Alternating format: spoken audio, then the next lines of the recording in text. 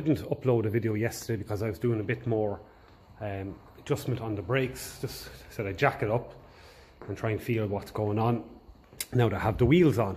So things are a little bit different when the tractor's rolling, but as we've seen, we're getting good brakes. So I was doing a bit of touching up of paint um, here and there, brake rods and stuff like that. This brake rod in here in the back wasn't painted, so I have that painted and um, touched up a few little bits here and there. And um, today's job is going to be to flare this lad here because he's too long and that's uh, for fitting the new bonnet latch that I have um, on the way. Should be here tomorrow. Um, so that's what I'm going to do there. I might touch up that red there as well on the coach bolt and uh, there as well. And anywhere else, small little, I think there's a little scratch here and there. We'll give them a touch up and give the tractor a good looking over. Um, I do have to paint the track rod ends properly. Um, as I didn't paint them earlier on because I had to do a bit of adjustment that involved putting them in the vise and all of that so it's always good just to leave them to the end. So I have them on loose. So I'll be able to take them off give them another quick spray and uh, yeah so let's get going on getting this uh, flared a little bit. Also got this mirror fitted as well. So it's handy when you're sitting up on the tractor to be able to see behind you and not be turning over your shoulder the whole time. So that was a nice little addition. What I use to flare these is a coach bolt and I just file the square shape on it there into a bit of a V, kind of a wedge shape. And when I tighten that in, it starts um, flaring that over a bit there. So I obviously had to do a little bit of work on this one here as well because the circlip um, wasn't going into the slot. So that's the plan with this side as well, just to stop them from falling off in the future. A flare uh, is obviously the way that doesn't involve using hammers or anything like that. You just keep turning the square edge a little bit more and tightening and then when you, when you have it done then you just get your plastic hammer, tap it back out. Turn it a bit more, tighten it up and you'll feel a flare, flaring it. Touch ups and I fitted on these stickers as well for the draft and for the position control there, so I'm happy with that touched up a few of the little marks on the paint there and stuff so. Right next job. What is it going to be? This is just a little tidy up job right? So uh, there's this bracket there nice original bracket. Here's a bit of chain right? it's too long. And what I'm going to do is I'm going to fit this onto the end of it and it's going to sit in there. And that's the way it would have been from factory. It's just handy having it on a chain that you you don't lose it as well. And again because they had them on from factory it's an original bracket there that I pulled out of my parts and uh, I'll be able to attach that. So I'm going to work out roughly how much chain we need. Even that much is probably enough so I can go ahead and uh, cut it. Doesn't need to be very long obviously because it's right beside it but at the same time we don't want want to be able to pull it out enough and not have it getting caught on the chain. Don't know how hard this is going to be to cut. I might get my snips at that actually. And after opening this up, putting the chain in around it, and now I can uh, now it can be fit, fitted. So it's just one of them things, little small detail, but uh, just the way it should be. So what I'm going to do now is I'm going to fit one on here as well, so you can see that there's a hole there. So I'll put another one of them on a chain there. There's a bit of chain, there's the clip. So what I do is get a good grip on them, pull them out, just not completely off the square part. Could go flying. Fair strengthening them now, so there is. And then one tap of the hammer should get it back in.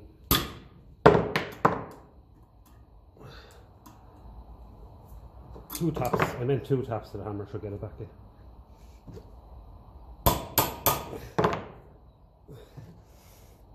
Gripped it too much. That's why it's not moving. There we go. That's that there. Ready to go. So we get our industrial silver stainless bolt. Put a washer on there and uh, put it through the chain. I like to have this one a bit longer as well. So let's get that fitted. Right.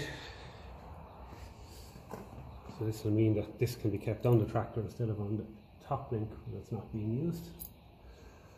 And uh, it'll just it won't, it won't be going uh, walkabout when you're looking for it. This bolt might be a little bit short. We'll find out very quickly now. I have longer ones there if I need anyway, but if I wanted it to be as neat as possible. Yeah, a bit too short, luck would have it, that's no bother. I'll get a longer one and we'll come back and do that again. Okay, take two. That's definitely long enough now. Right, so on with our the washer here as well.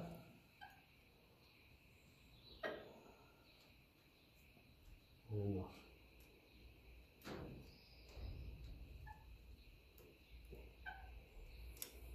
There's a bit of an angle, it's a little bit awkward, but we'll get it.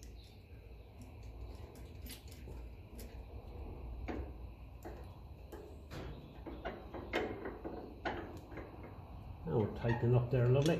Try and keep that facing the way we want it to.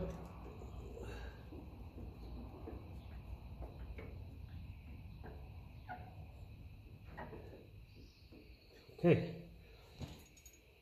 so that'll be that. I'll go and get the pin and come back. So here is our nice top link pin. So that can come through, can come through that way. So maybe, I didn't realise that, we'll have to swap, we'll have to swap um, sides maybe. Yeah, I think we'll swap sides, yeah. That's no problem at all, these are the things that we run into along the way that bracket over there for the hydraulic pipes is just stopping it going in that way. So.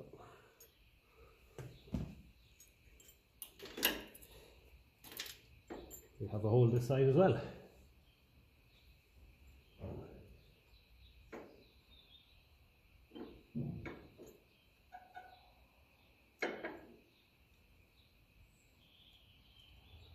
On with the Uh, an angle here. I'm going to get my snouty nose pliers to help me hold that nut in place. And we're lined up, ready to screw them home now. Just a bit tight in there to get your finger in to hold that nut. Okay, nearly there. Okay, that's not going to affect anything there at all. Okay. So it's just, look, it's just one of them things. It just, they came with them from factory, so we may as well have them on it. It only takes a bit of a, a length of chain. And there's plenty of length in this as well, so you're not going to be stuck for space. So that's it. And this one here. No pain like one of these closing on your fingers. little bit shorter and all of that, but it's uh, still it's doing the same thing. Looks right, looks neat. It's just you have if you don't have that bracket on, you have a long stud there. A lot sticking out a lot more than these, so just makes it correct. A gallon of hydraulic oil there just to to drain into it there, just to top it up a bit more, and we'll check the levels there now in a few minutes and see what they're looking like. Coming up here on the level nicely. It was fairly low before, so let that just it'll take a few minutes. So while I'm doing that I'm going to start giving the wheels the back wheels especially where the axle seals were leaking um, covered in oil. So what I'm going to do is I'm going to start pouring that in there and uh, it's a WD-40 and give it a, a, good rub and a good clean it'll help um, protect the paint as well this is just one of the things I do just to help protect paint because out here it can get very damp. So I use a slightly oily rag. Use this rag for this job and this job only. And it just I find the slight bit of oil that's on it and the WD-40 you get great results so I'll get a torch and show you some of the oil that's on the wheel. This side was, was leaking fairly badly. That's actually a bit of the, the oil that was leaking out of it. And uh, the wheel you can see is uh, it's fairly still fairly oily. So I'm going to give that a good spraying down with WD-40 and um, I'm going to get that uh, get it cleaned up. I want to paint the end of the half shaft that I got where it goes in around the wheel. I have to clean that down and it was red and we have to make it grey. So I'm just going to mix up this paint and that will be another job done and I'll take another look while I have the cover off, cap off the painting to uh, see if there's any more grey that needs touching up. Apart from the track rods I'm going to spray paint them So that's good. So we'll, get that painted now. Clean this back and there's plenty of rust primer on it, so there's no need to be putting any more on. I don't think. So, coming towards the end of the project now. Test drive went well the other day and I've just been making sure that everything that's meant to be holding oil and all that is. And it does seem to be, so that's good. This was colour match paint that I got matched in a local paint supply space. I got them to match it to a front wheel and to the grill and well to go with the nearest colour. Thankfully it does dry a bit darker than it is now. Because when it goes on first it always looks brighter. So I'll be able to give the rest of the tin tractor and there's a coat on that so any more paint needed it won't be a problem the coat will be on it so that'll just have that looking right. Now see some of these are, the paint there is a little bit damaged from looks like impact guns or something. Let's see there's a touch up? I'll use a smaller detail brush and just touch that up as well to take this bolt off. This washer here is actually for, uh, it's around the belt pulley of the crankshaft for a starting handle dog nut it's called. So I'm going to put a proper um, washer on there and I'm going to take this off and cut it to, to length, get it looking a bit tidier. A nice stainless steel washer put on that side, cut to length and a nice uh, spring washer there and uh, just the right amount of thread sticking out and that's probably the best way to go about sorting him out know that I actually show some little clip of these um, decals fitted. They're a nice little touch.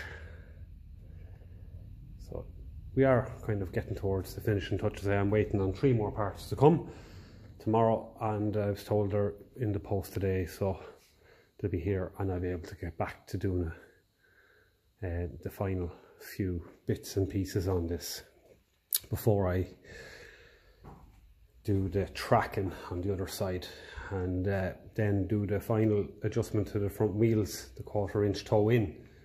So um, after that I hope to bring it on a test drive to make a final tweak or two to the brakes, make sure the steering is A1 because I didn't have those track rod ends on very tight because I didn't want to go bait things with a hammer to take them off.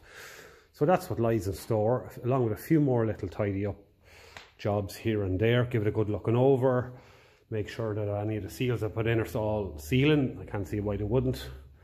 And um, might just put a bit of uh, polish on the, the bonnet there just to, the paint is a little bit, little bit faded here and there. So I'll give it a degrease and a polish just to bring, bring out the best of it.